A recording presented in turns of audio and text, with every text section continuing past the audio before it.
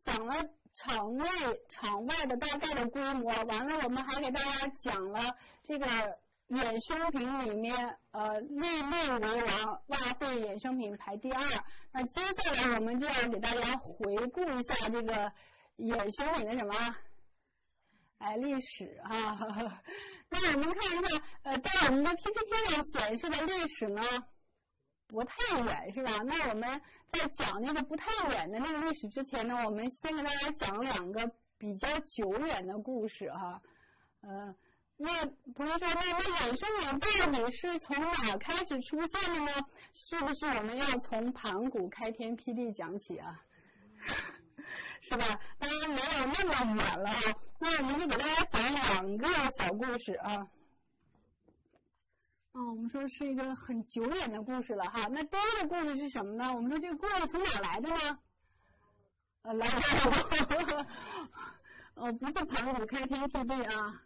我们说，我们现在可以查到的，说是它是来自于什么里面呢？是说最早的衍生物。我们如果要追溯的话，我们可以追溯到圣经故事里面哈。就是说这个圣经故事，现在我们把它称之为是什么的起源呢？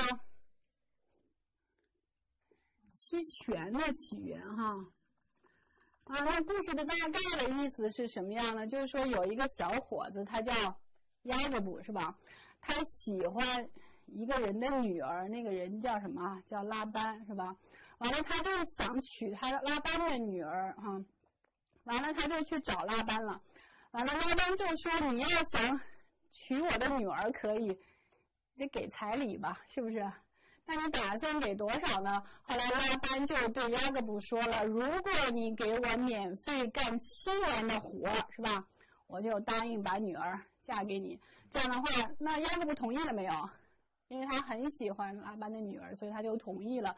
这样的话，我们就说，呃，雅各布用七年的免费的劳动，换取了或购买了一个和拉班女儿结婚的。”权利哈，据说这是远古的期权的雏形哈。那后来那个雅各布小伙就很实在，就干了七年了，是不是？完了那那是不是应该找这个拉班去兑现了？对不对？那后来你说拉班他同意了吗？拉班同意了呀，但是他说。说你不能跟我的另外一个女儿结婚哈，因为他实际上知道他想说，你可以跟我的那个大女儿结婚，那个大女儿叫拉吉啊，说你可以跟她结婚，但是拉哥不喜欢的是谁呢？拉哥不喜欢的是他的小女儿叫莉亚哈。那后来那个呃，他就又跟那个呃拉吉就是谈判了，说。那我还想跟你的小女儿结婚怎么办？那拉班就说：“那你先把大女儿娶了吧，是吧？娶了。”他说：“那你那我怎么样才能再娶你的那个小女儿利亚呢？”后来拉姐说：“那当然得再干七年了，是吧？”他又又免费为拉班干了七年，完了终于在第二个七年之后如愿以偿的和什么和他心爱的人。呃，利亚结婚了哈，就是在圣经故事里面，现在购买了什么呀？两个期权，花了多少呢？十四年的免费劳动哈。我经常开玩笑说，我说雅各布同学没有仔细看合约，他没有想到拉姐是有两个女儿的哈，所以要写清楚啊，合同不能乱签啊。嗯，这是我们所说的什么呢？圣经故事，它它告诉我们有那么点期权的意思啊。当然，这都是比较早的一些说法了哈。那还有第二个呢？我们说实际上是一个古古希腊的故事哈。我不知道大家听过没有？就是古希腊有一个数学家、哲学家，叫什么？叫泰利斯是吧？他非常渊博，但他也很贫穷哈。后来他所在那个村子里面的人呢，就嘲笑他说：“你看那个哲学家多穷啊，数学家多穷啊。”后来泰利斯呢，就非常的生气，他就想向村里的人证明说，哲学家也是可以赚钱的啊。就是他意思，他不但懂数学和哲学，他还非常懂天文哈。据说月观天象，发现了什么呢？啊，发现经这个通过天象判断气候非常适合橄榄的生长哈。他判断明年那个橄榄要什么啊？哎，大丰收是吧？那那那橄榄干嘛用的？对，同学说炸油用的，所以他意思知道这个现象以后，而且他对他自己的预测非常有信心，他就到村子里面去问，呃，把那些有橄榄榨油机的那些机器，都预付了一些定金，取得了就是用比较低的价格优先租用这些榨油机的这个权利啊。等第二年的时候，我们说泰利斯猜中没有啊？哎，猜中了。第二年的时候，橄榄大丰收，完了那个大家都到处去问说那个出租呃榨呃这榨油机，完了那个来榨油，后来发现到处都找不到了，因为他们都已经把榨油机怎么样低价租给了泰利斯是吧？后来泰利斯就利用这个机会，完了加价比较贵的租出去了，后来他又赚了什么一大笔钱哈，借此来证明哲学家也是。会赚钱的是吧？那我们呃通过这个呃呃圣经故事里面那个期权的呃起源的这个雏形，还有这个古希腊的泰利斯的故事，泰利斯那个还是有那么一点点，你说它像远期也可以，你说它是期权，呃也可以是吧？他说我们说这都是呃。过去的故事了哈，那我们一会儿要给大家讲的呢，就是如果我们真要讲到现代期货起源的时候，我们就不能再翻圣经故事，我们也不能听古希腊的传说了哈。那我们要看一下我们现在的这个呃起源是什么哈？嗯，同学看一下这个啊，有点点多，我们一个一个看哈。我们说了，如果我们要从比较近代的发展史来看一下衍生品的话，我们说衍生品它发展的时候也遵循一个跟我们看其他的世界经济发展史一样，它一定会在一些发达的地区，是吧？那我们说在十十七世纪那会儿的话，我们说欧洲是谁最厉害呢？哎，我们说是荷兰是海上之王哈。那我们说同样的那个衍生品发展的时候。呃，也是从荷兰起家的，大概的时间是一六三七年哈。那么说荷兰有什么？哎，我们荷兰有风车，还有什么？还有郁金香。当然，大家都听到说古建商农是吧？那花建商什么呀？花建就商花农呗，对不对？所以我们说，实际上因为很多的荷兰的农场主，他们都种什么？都种郁金香，可能那会儿还没有大棚，所以大家种的各种郁金香都在郁金香开花的时候去卖，是吧？那大量的花要上市，呢花怎么样？价格就暴跌，所以种花的花花的农场主们就很伤心了，因为卖不了好价钱。因为花放在哪儿啊？是不是搁冰箱里放三个月也不行？是不是很快就枯萎掉了？所以后来就有一些农场主就跟花的。郁金香的花的经销商签订什么？签订合同，说我今年呃种了多少多少郁金香，黑的、红的、白的，是吧？你多少多少时间来什么？收购我的花儿，完了咱们把什么东西谈好啊？价钱谈好，所以大概就是这样，我们把它称之为郁金香远期合约。那我问大家，这个郁金香的远期合约会出什么问题呢？对吧？签订了一束花卖多少？打个比方，三块钱是吧？完了来年了，花都都那个可以可以销售了。那农场主他怎么样？他要打小算盘，发现啊，原来你给我签了三块钱，那现在市场上花价多少钱呢？两块八。哎，你很开心，哗哗哗把这花都卖给了什么经销商？因为你签合同了，是吧？那如果到到那个市场上一看，说啊，原来今年花都四块钱，我为什么要三块钱卖给你呢？那农场主就会撕毁什么？哎，合约，对吧？完了到市场上去卖高价去了，是不是？所以这就是我们所说的远期合约。它早期的时候，由于它是在场外的时候，经常会发生什么呀？毁约。那同样的经销商会不会毁约啊？一样也会毁约的哈。所以远期合约后面还有后续的发展的过程中，就会有一个很大的问题，就怎么样解决远期合约的违约问题？解决了吗？嗯，还没有解决哈。我们发现远期合约到现在为止还是非常重要的一个衍生品和形式，它同样存在违约风险。那还有一部分衍生品呢，从远期合约就慢慢慢慢向海洋动物到了陆地上以后，它就变成了什么啊？就是我们后面看到的什么合约呢？期货合约啊，它就解决了什么问题呢？解决了违约风险问题哈。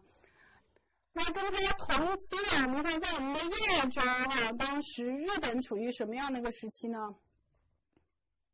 幕府哈，我们说在幕府时期的时候，有很多的日本的大地主，他们都已经不愿意住在乡下了，是吧？他们就住到了什么啊？城里，但他们还有地，对吧？那个地呢，都都租给别人去种了，是吧？那那些佃农们，他们到这个季节的，他们要交什么啊？交租子嘛，是不是？那交的是什么呢？啊，交的就是大米哈。那由于这些大地主们他们都住到城里了，是吧？如果佃农交租子的话，我们就把怎么样？就把那些米搬到城里去交给这些大地主吗？不是的。后来大地主们就想了一个办法，说你不要这么麻烦了，你就把那个米存在什么地方？那给我一个什么东西呢？那我怎么知道你把这个米交到那个地方去了呢？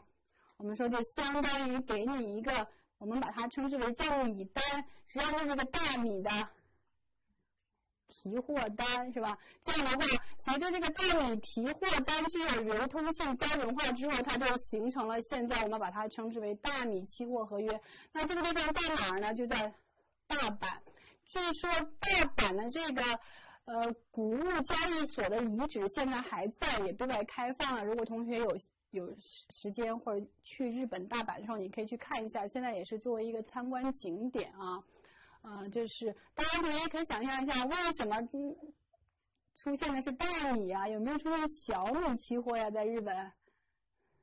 啊，没有，因为我们说日本的米虽然非常贵，也不太好吃，但日本人还是很喜欢吃什么？大米的哈，如果我让你猜的话，你觉得他们除了大米，后面还会有什么主流期货合约？三文鱼。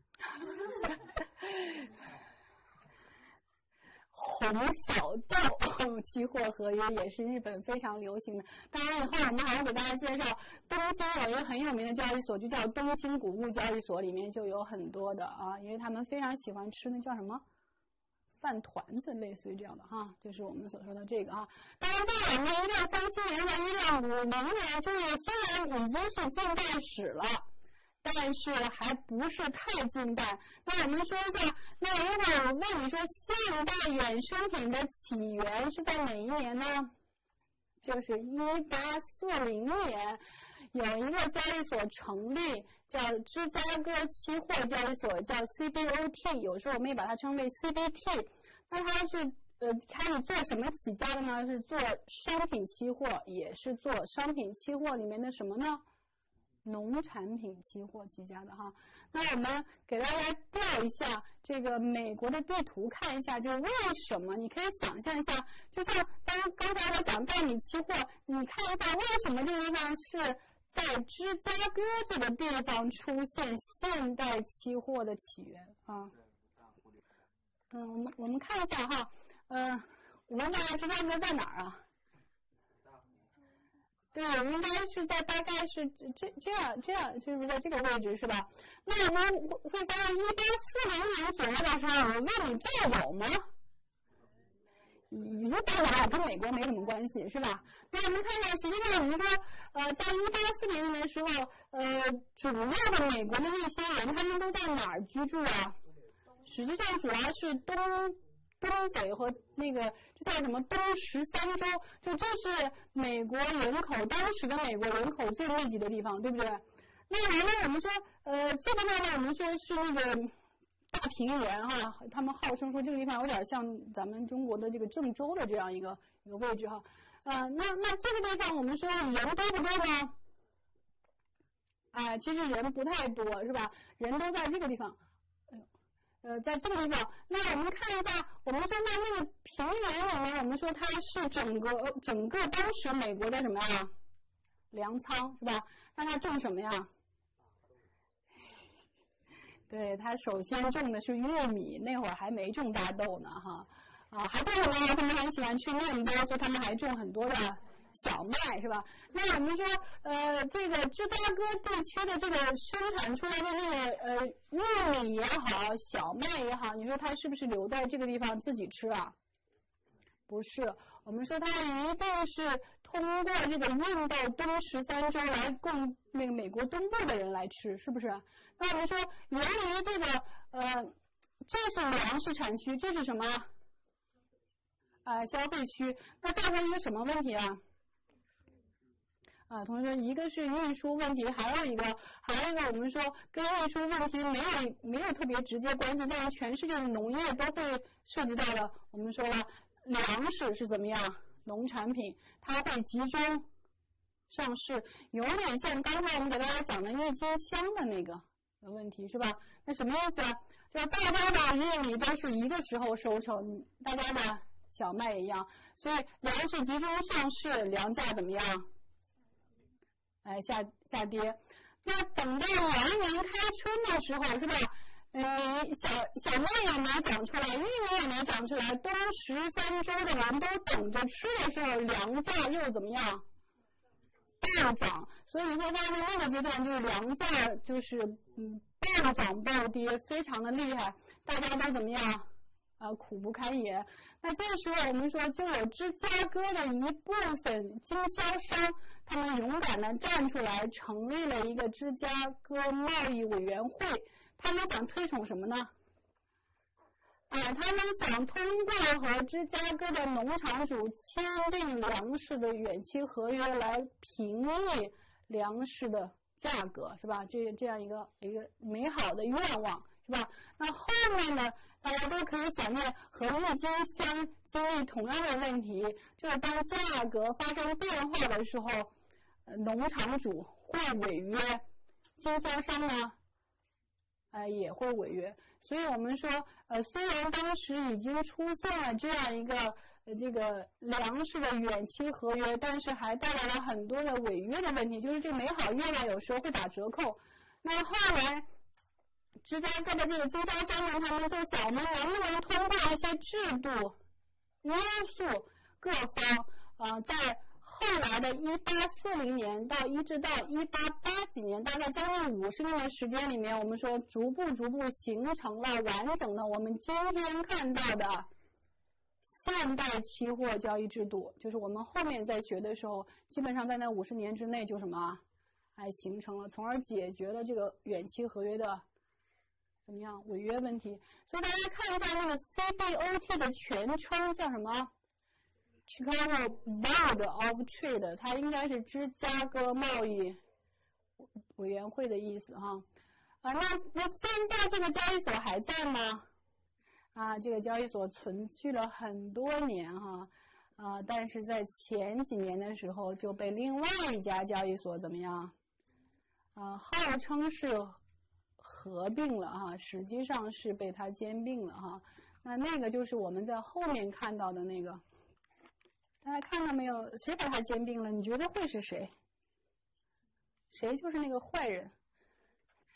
对了，我们说这个真的是在期货交易所里面非常的古老，我们都把它称之为老大，是吧？但是在一百多年以后呢，我们说实际上芝加哥商业交易所存续的时间很短啊。但是芝加哥商业交易所的那个老板哈，就是真的是非常的有远见，他在。若干年之后发展的非常快，所以在大概在前记不得了哈，前年左右的时候，芝加哥商业交易所就把 CBOT 给吞并了。那现在这两个交易所叫什么名字呢？叫 CME Group 啊，就是 CME 集团啊，这是我们看到的。那我们刚才提到的，在那么长的时间里面，CBOT 它们都是什么期货？就农产品从远期到农产品的期货，对吧？那到什么时候我们说期货合约的标的才从农产品或者是商品慢慢慢慢发展到现在的更多样呢？我们看离我们非常非常的近了，是吧？我们说 CME 的老大真的是很厉害，他在什么时候就意识到机会来了？是一九七二年的时候，他认为机会来了。那我们说一九七二年发生了什么？或者一九七二年之前发生了什么？我们说了，因为一九七二年之前哈，我们说发生了大事儿了啊，真的是一个很大的事儿，就是布雷顿森林体系怎么样？啊，崩溃了是吧？大家原来说我们管美元，美元管黄金，后来美国说你找我要黄金没有了是吧？那最后整个那个国际金融体系变化以后，你会发现原来一盆死水的汇率是吧？现在变成了上蹿下跳是吧？那大家从来没有意识到汇率波动是如此的可怕啊！那我们纷纷要求避险工具找装备了是吧？后来发明老大说：“那我这有是吧？我这有什么呢？有外汇期货合约，在一九七二年推出来的哈。大家如果看的话，我们给大家讲一下：七二年推出外汇期货合约之前，C M 已经成立了。他同样跟着 CBOT 老大哥学什么？学什么？学商品期货呀，对不对？”那在他成立这个外汇期货合约的时候，有一个问题是什么？就是说要成立一个新的部门，就到交易所找没有地方，是吧？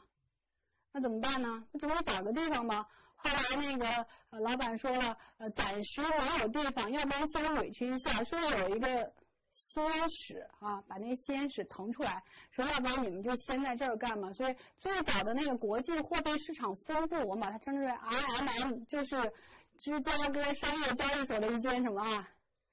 哎，吸烟室啊！当然，正是抓住了这个历史契机，呃呃，芝加哥商业交易所就迎来了啊大发展啊，以至于今天我们看到这两家已经合并了，全部就是 C M C M E 了哈。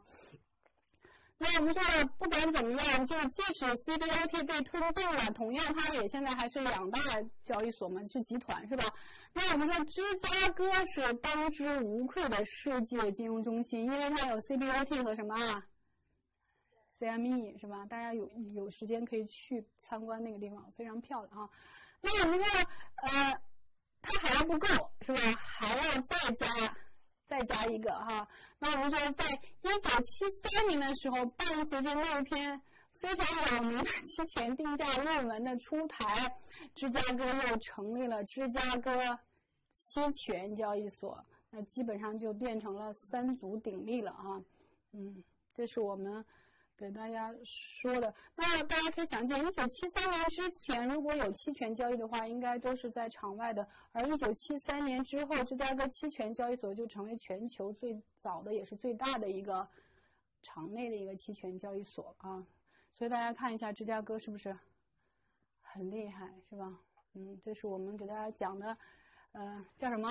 两个古代的故事，两个近代的故事，还有。剩下是谁的故事啊？芝加哥的故事啊，芝加哥发家史啊，就是这样一个过程哈。现在我要问你一个，你说现在呃交易所发展到今天，我问你，你觉得一个交易所，打个比方，就是芝加哥商业交易所，它会不会只交易期货？不会。对了。我们说交易所最后都发展成为我们把它号称为金融百货公司，它几乎交易所有的呃合约啊，不光是，甚至你会发现有的交易所不单交易衍生品，它还交易什么基础金融工具。那同样我们回过来发现，有些原来有交易所，它可能也会交易什么啊衍生品，对吧？多一个交易品种就多一堆用户，多一堆用户就有多一堆人给交易所什么。来，交钱啊，这就是这样，市场就会越来越大啊。